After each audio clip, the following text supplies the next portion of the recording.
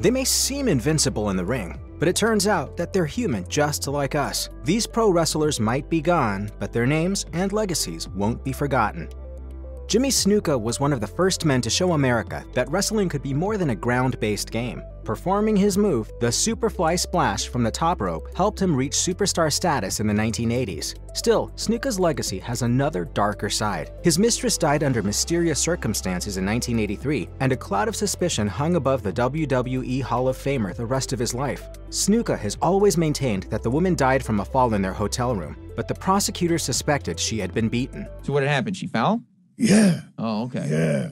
Yeah. Banged her head and, you know. Although the death was initially ruled accidental, the victim's relatives successfully sued Snuka for wrongful death. In 2013, an investigation by the Morning Call newspaper raised some new questions about the case, and in 2015, Snuka was charged with third-degree murder and involuntary manslaughter. The court dismissed the murder case because of Snuka's advanced dementia and rapidly failing health. He died just one week later.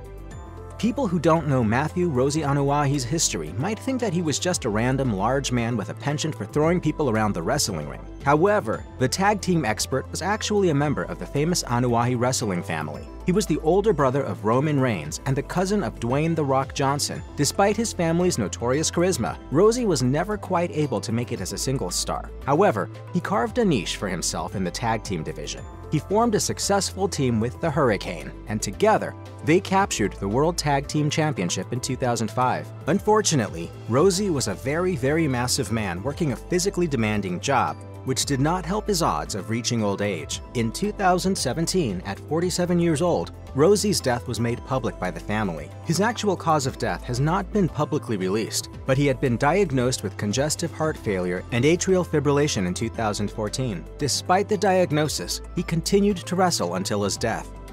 Ludvig Borga was one of the many generic monster heels of the 1990s. The man behind the character, on the other hand, was far from bland. Tony Halme never became what you'd call a WWF legend, but that was just one stop in his strange career. Apart from wrestling, he worked as a bodyguard before moving back to his native Finland and becoming a boxer, where he won the National Heavyweight Championship and sold out arenas. He also tried to expand to MMA, but opponents such as Randy Couture helped bring an end to that career. Perhaps the strangest and most notorious move in Halme's career came in 2003 when he ran for the Finnish parliament as a member of the True Finn Party. He was elected and immediately started championing strange and impossible policies, such as saving Finnish funds by sending drug dealers to Russian prisons. His private life also became increasingly erratic. In 2004, the esteemed member of parliament was arrested and given a suspended sentence for firearms and drug violations. At this point, it was clear that Halme wasn't doing well. After several alcohol-related arrests and a stint at a mental institution, the 47-year-old former heel died by suicide in 2010.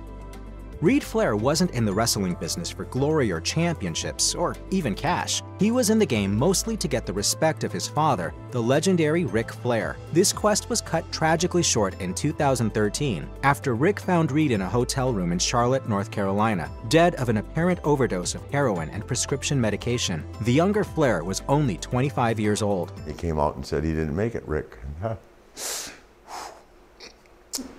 that was tough. In 2015, what must have been the worst day of Ric Flair's life returned to haunt him in a very unexpected way. His daughter Charlotte was the WWE Divas champion at the time, and he frequently fought on her side. One particular TV angle took a dark turn as wrestler Paige, Charlotte's opponent in an upcoming match, started talking about Reid's death in an attempt to provoke Charlotte. Ric Flair was deeply hurt by the decision to use his dead son to hype up a match, but was afraid to say anything in case he'd accidentally sabotage Charlotte's career.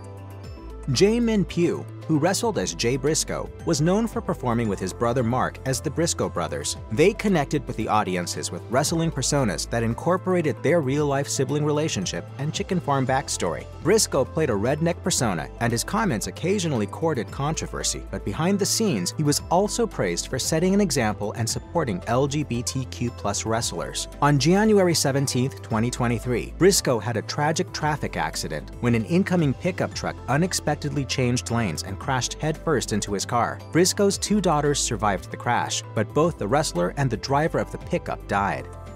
Today, Ivan Koloff may seem like a generic villain, but in his heyday in the 1970s and 1980s, He was a truly formidable presence. The Russian Bear was actually Canadian, but this didn't stop him from wearing a hammer and sickle singlet and becoming a man everyone loved to hate. He was known as a notorious fan favorite villain, and wrestling legends such as Ric Flair, Hulk Hogan, and the Iron Sheik paid their respects to Koloff after he died. The scary looking Koloff was actually a sweet, gentle person who became an ordained minister after his retirement in the 1990s. I uh, turned my life over to the Lord in 1995 out of necessity. In this capacity, he toured the world for over two decades before finally succumbing to liver cancer at the respectable age of 74.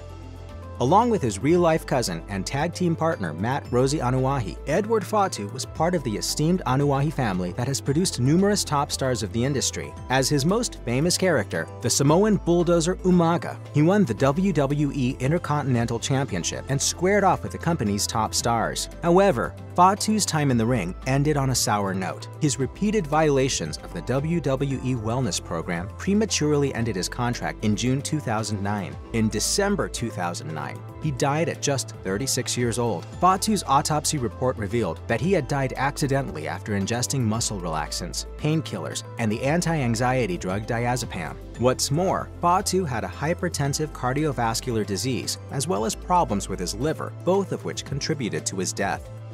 Japanese professional wrestler Hana Kimura was a second-generation talent who seemed to have a stellar career ahead of her before she died by suicide in May 2020. When Kimura joined the cast of the Japanese reality show Terrace House, the show portrayed her in a negative, aggressive light, which resulted in severe cyberbullying. Kimura and her mother have both made known that the show deliberately portrayed her as an aggressive villain archetype, which in turn drew the show's notoriously vocal fandom's online ire at her. The connection between the fans' barrage of abusive comments and Kimura's death led to Kimura's mother suing the production company and setting up a non-profit organization in Kimura's memory. As of May 2021, three of Kimura's bullies have been identified and sentenced to pay damages or fines, and after looking into its cyberbullying legislation, Japan made online abuse an imprisonable offense in 2022. Professional wrestling has its heroes and villains, but the people behind the larger-than-life roles are generally just that, people. However, WWE wrestler turned actor Shad Gaspard proved in his final moments that he was very much a hero in real life. On May 17, 2020, Gaspard was swimming with his son in Venice Beach, California, when a riptide swept them away from the shore. When a lifeguard arrived to help, Gaspard put his son first. Some witnesses say when the lifeguards went in to rescue Gaspard and his 10-year-old son, they heard Gaspard yelling, save my son first, save my son. Immediately after giving the child to the lifeguard, Gaspard went with the waves. His son made it, but the wrestler himself didn't, and he was found dead on May 20, 2020. Many wrestlers and wrestling personalities reacted to the news of Gaspard's death with shock and sadness, and praised his determination to protect his son in his final moments. Dwayne Johnson shared one of the most heartfelt tributes to his fallen colleague on Instagram writing, Shad drowned in the ocean, but not before instructing lifeguards to save his 10-year-old son first. That's the love of a father. This is a tough one to process. Love and light to Shad's family, and your warrior spirit lives on through your son. Hossein Khosrow Ali Vaziri, the Iron Sheik, had a highly successful wrestling career and an equally turbulent personal life. In his later years, the Sheik refound fame on social media after his propensity for wild and colorful tirades caught the eye of two Iranian-Canadian brothers. They teamed up with the ex-wrestler to set up an X account in his name. The Sheik neither wrote nor posted the profane tweets himself, but they proved popular nevertheless. Vaziri was 81 years old when he died on June 7, 2023. The Iron Sheik was such a colorful villain figure that it's easy to forget he was a legitimate amateur wrestler in Iran before moving to the United States. In his youth, the Sheik almost made it to the Olympics and at one point actually worked as a bodyguard for the Shah. In the US, he became a fixture of the 1980s pro wrestling scene and generally kept busy in a way that landed him a spot in the WWE Hall of Fame. Known as the Genius and Leaping Lanny, high-flying wrestler and memorable wrestling manager Lanny Poffo died on February 2, 2023 at 68 years old. Poffo was a great wrestling talent whose immediate family sometimes overshadowed him, since his brother just so happened to be the iconic Macho Man Randy Savage. As a wrestler, Poffo managed to connect with the audience using frisbees and poetry, of all things. Poffo continued his popular streak with his The Genius gimmick, which cast him in the heel role of the world's most intelligent man. Randy Savage gave standing orders that he wasn't to be inducted into the WWE Hall of Fame unless his father, who was also a wrestler, and his brother got the same treatment. After Savage's death, Poffo overruled his brother's command, and the wrestling legend entered the Hall of Fame. Jerome New Jack Young died of a heart attack on May 14, 2021, aged 58. New Jack's arguably most infamous hour put him in a tag team match against D-Von Dudley and a new wrestler called Mass Transit, who in reality was a 17-year-old kid named Eric Kulas, with zero wrestling experience. After Kulas requested New Jack to help him bleed, Jack cut the boy so deeply that he started bleeding out, leading to a lawsuit and copious media attention. New Jack had a difficult childhood and spent two years in prison for robbery before focusing on football and, not long afterward, turning to pro wrestling. Considering his highly violent wrestling style and extracurricular activities, it's easy to guess that New Jack was quite a polarizing figure. But nevertheless, he was so respected that when he died, even the WWE, where he never wrestled, paid its respects. WWE Hall of Famer sensational Sherri Martel worked in multiple wrestling promotions as both a wrestler and a manager. In the latter capacity, she had storylines with many of the biggest male stars of the industry. On June 15, 2007, the 49-year-old Martel retired to her bed after feeling unwell and was found dead shortly afterward. An autopsy revealed several drugs in her system, but the death was deemed accidental. The reason people might not have heard of Martel's death is that it happened shortly before one of the most terrifying events in pro wrestling history, the horrific crimes of Chris Benoit, who killed his family and died by suicide between June 22 and June 24, 2007. Strangely, timing wasn't the only connection between these two tragedies. A friend of Martel, Kevin Sullivan, was once married to Benoit's wife and victim, Nancy Benoit. If you or anyone you know is having suicidal thoughts, please dial or text 988 to speak with the National Suicide Prevention Lifeline. You can also seek help by visiting 988lifeline.org.